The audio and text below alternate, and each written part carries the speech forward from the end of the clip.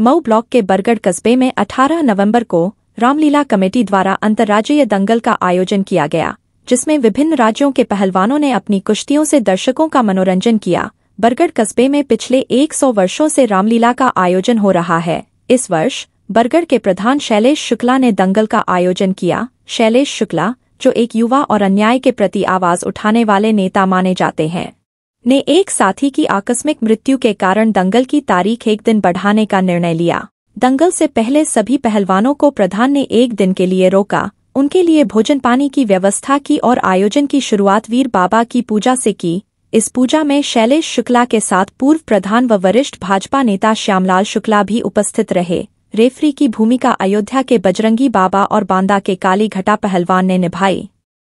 दंगल में पंजाब, हरियाणा, बनारस हरिद्वार और मध्य प्रदेश से आए पहलवान जैसे सुरेंद्र, विशाल, दिलीप, सोनू, राहुल और अखिलेश ने अपनी कुश्ती से दर्शकों को रोमांचित किया। मुख्य आकर्षण महिला पहलवानों की कुश्ती और जादूगर ज्ञानेंद्र भार्गव की प्रस्तुति रही। जादूगर और पहलवान के बीच हुई कुश्ती ने भी दर्शकों को खूब लुभाया।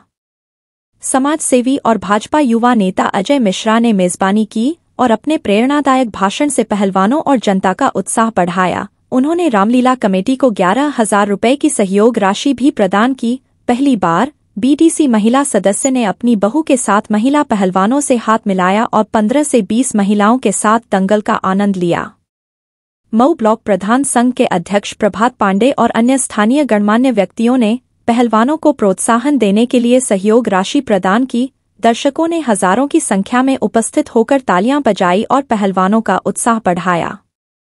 सुरक्षा व्यवस्था के लिए बरगढ़ कोतवाली प्रभारी निरीक्षक पंकज तिवारी और उनकी पुलिस टीम पूरे समय मौजूद रही। यदि कभी पहलवानों के बीच विवाद बढ़ता तो पुलिस बीच बचाव करती।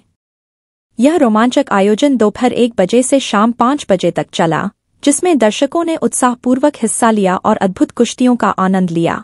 चित्रकूट उत्तर प्रदेश से प्रमोद मिश्रा की रिपोर्ट देखते रहिए आपका अपना चैनल आंचलिक खबरें अपनों की खबर आप तक।